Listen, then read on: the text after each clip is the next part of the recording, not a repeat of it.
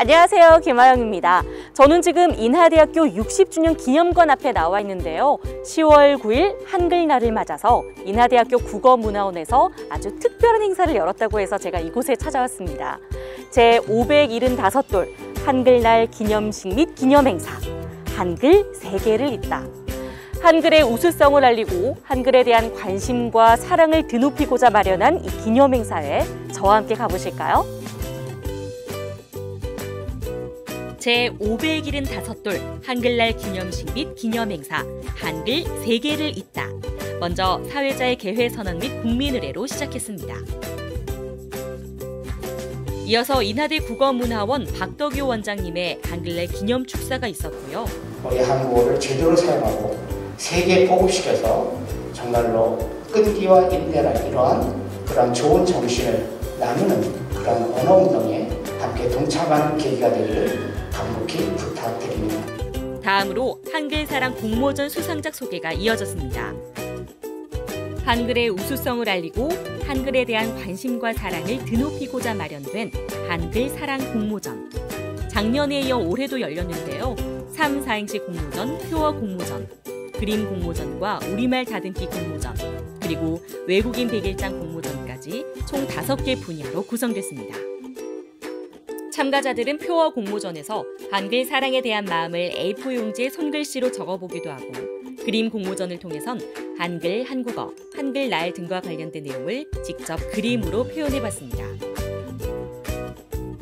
또 외국인 백일장에서는 한국어와 한국 생활에 관련된 경험을 주제로 외국인들이 한국어 글쓰기 실력을 뽐냈습니다. 특별히 올해 새로 시행된 3, 4행시 공모전과 우리말 다듬기 공모전은 온라인상에서 진행됐다고 합니다. 3, 4행시 공모전에서는 한글 사랑에 대한 생각을 한글날 3행시와 세종대왕 4행시로 지어봤고요. 우리말 다듬기에서는 일상생활에서 접하는 어려운 외국어, 외래어, 한자어를 찾아 쉽고 아름다운 우리말로 다듬는 행사로 참가자의 인스타그램에 해시태그를 붙여 올리는 형식으로 진행됐습니다. 다음으로는 우리말 겨루기 대회 결과 보고가 있었습니다.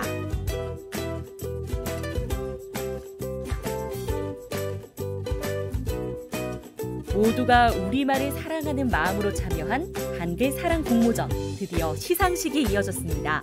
수상하신 모든 분들 정말 축하드립니다.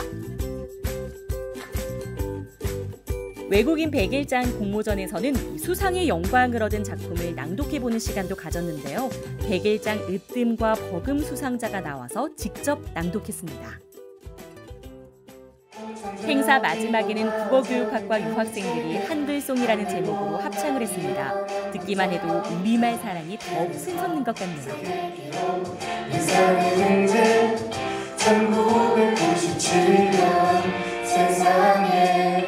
1997년 세상에 어쩜 이렇게 신비한 걸 만드셨을까요?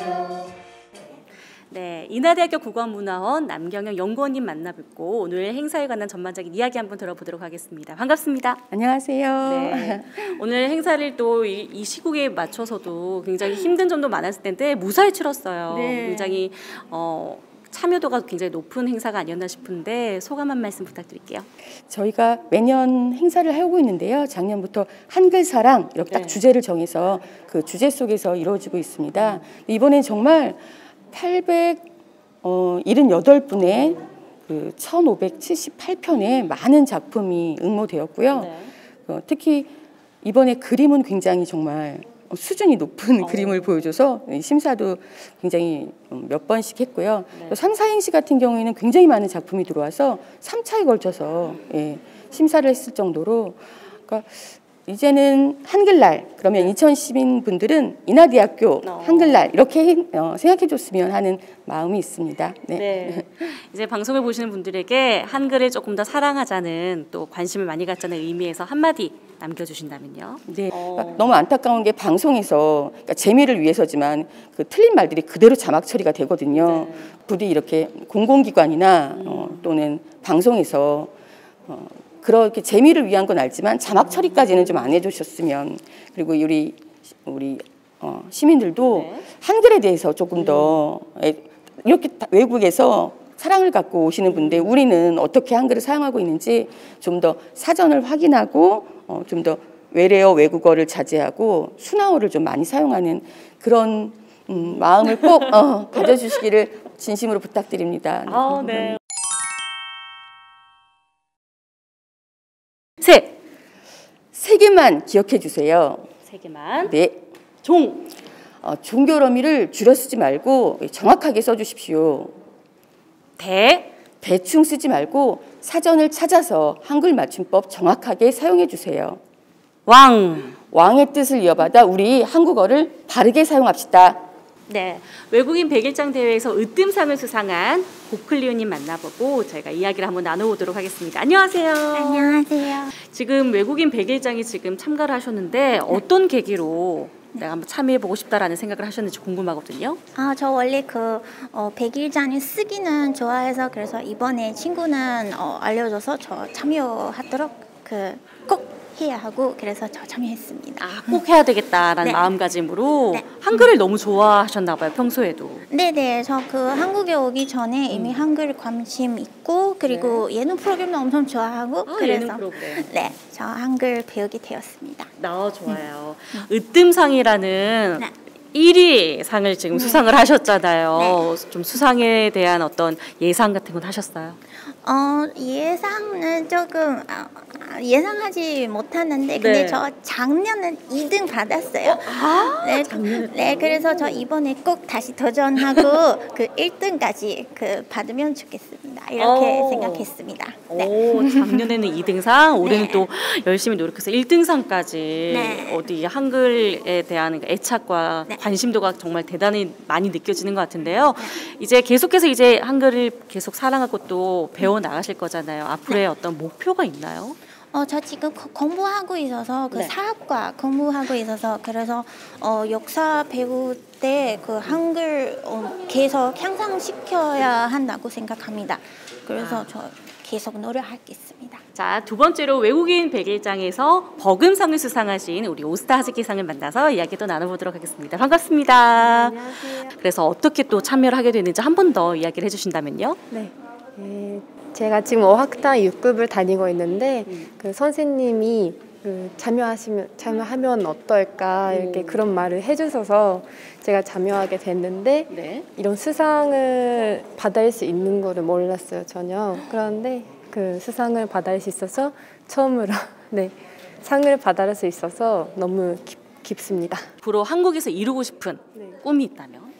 음, 일단 아직 어떤 직업을 하고 싶은지는 아직 정하지 않았는데 그래도 뭔가 일본이란 한국 관계를 적게 그 될 수 있는 그런 관련이 있는 일을 하고 싶다는 네, 마음은 계속 가지고 있습니다. 아, 네. 한일 관계를 좋게 만들고 싶은 그런 꿈을 가지고 있다 하셨어요. 오늘 말씀 너무 감사드리고 수상 너무 축하드립니다. 네, 감사합니다. 한글사랑 공모전에서 오늘 이관왕을 수상하신 오늘 류인보 선생님 만나보고 이야기를 나눠보도록 하겠습니다. 총 두 가지 상을 받으셨어요. 어떤 상, 어떤 상이죠? 표상하고 네. 다듬기상 둘입니다. 국어를 전공을 했지만 네. 국어 국문학을 전공했지만 국어가 그렇게 어려운 줄 몰랐습니다. 저도 사실 한국인이지만은 어렵고 힘듭니다. 네. 그래서 항상 사전을 제가 몸에 지니고 다니면서 그걸 열어보고 하는 편인데 네. 할수록 어려운 것 같습니다. 그래서 조금이라도 나이 들면서 잊지 않으려고 애를 쓰고 있습니다. 네. 우리나라 같이 저기 한글을 순수하게 쓰면서도 외래어가 그렇게 많은 줄은 몰랐어요. 네. 시내 돌아다니거나 상가를 다니면은 네. 한 50% 이상은 거기가 외국 외국어나 외래어로 도배돼 있다시피 한데요. 좀 아쉽긴 했는데 그럴수록 우리 한국인들은 우리 말을 세상에서 가장 좋은 한글을 만들었기 때문에 그 글을 많이 애용하고 아껴 사용해야 된다고 생각을 합니다. 네. 잘 순화해서 사용하도록 하겠습니다. 감사드립니다. 네, 우리말 겨루기 대회를 주관한 우리말 연구회의 이정원 조한슬 학생 만나보고 이야기를 나눠보도록 하겠습니다. 반갑습니다. 반갑습니다. 네, 이번 대회도 역시나 작년과 같이 온라인으로 진행이 됐어요. 네, 아무래도 코시국이다 보니까 온라인으로 진행이 됐는데 어, 이번 대회를 준비하면서 조금 어려웠던 점이 있으실까요? 어, 저 같은 경우에는 이게 남녀노소 모두를 대상으로 하다 보니까 수준을 어떻게 해야 되는지, 그러니까 난이도 조절에서 가장 헷갈리고 어떻게 해야지 사람들이 한글에 대해서 관심을 더 많이 가질 수 있을까라는 고민을 가져가지고 그런 점이 좀 어려웠던 것 같습니다. 네, 반대로 또 기대했던 부분도 있으실 것 같아요. 네, 저희가 문제를 출제하면서 제일 기대했던 부분이 있었는데 마지막 문제였어요. 네, 저희가 한슬이랑 저랑 5월 달에 경인 방송 가나다 라디오에 출제를 한 적이 있거든요. 아니, 네. 아, 출연을 한 적이 있거든요. 그래서 출연을 하면서 그곳에서 제일 인상 깊었던 문제를 직접 출제를 했어요. 라디오 받아쓰기라는 문제였는데 네, 그 문제를 출제하면서 많은 분들이 맞춰줬으면 좋겠다라는 생각을 했는데 어, 실제로 많이 맞춰줬더라고요. 그래서 굉장히 뿌듯하고 뜻깊었습니다. 우리말 겨루기 대회에 이제 매년마다 참가자 숫자가 굉장히 늘어나고 있다고 들었습니다. 그만큼 관심도가 더 많아지고 있는데 참가하신 분들 보면서 어떤 느낀 점, 소- 소감 같은 거 있을까요? 네, 한글을 사랑하시는 분이 생각보다 많다는 점에서 놀랐고 마지막에 통계 자료를 보는데 이제 맞춤법 영역에서는 좀 많이 틀리셨고 주, 주- 줄임말 그쪽에서는 많은 분들이 맞춰 주셨더라고요. 그래서 그런 점을 보고 요즘 문자로 소통하는 시대다 보니까 그런 추세가 보이는 게 아닌가라고 생각했습니다.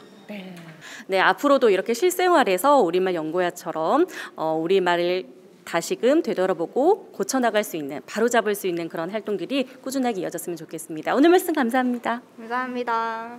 네, 오늘 행사를 주관한 이나리가 국어문화원 김수정 부원장님 모시고 이야기 나눠보도록 하겠습니다. 안녕하세요. 네, 안녕하세요. 네, 아무래도 시국이 시국이다 보니까 네 조금 어려운 점도 많았을 것 같아요. 코로나 때문에 그렇죠? 네, 아무래도 대면이 어려우니까 음. 모든 활동, 모든 공모전을 비대면으로 진행을 해야 됐고요.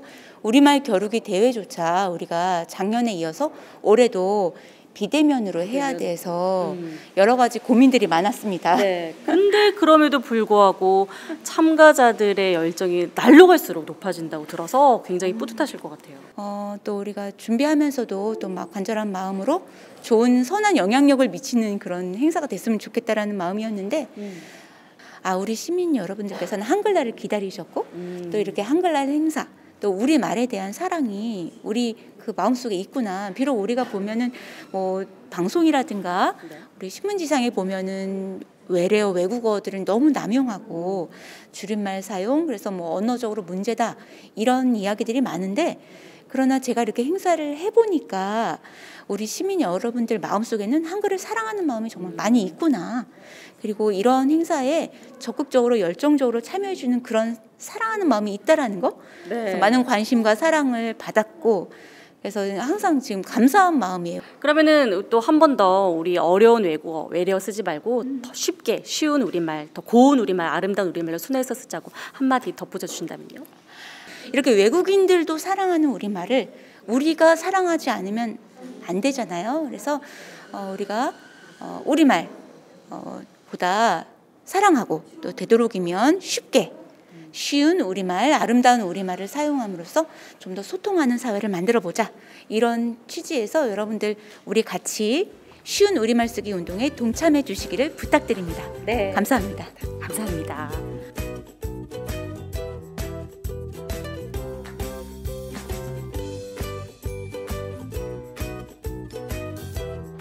네, 소중한 한글, 우리는 어떻게 지켜가고 있는지 한글날을 맞이해서 한 번쯤 생각해 보면 좋을 것 같습니다. 지금까지 리포터 김아영이었습니다.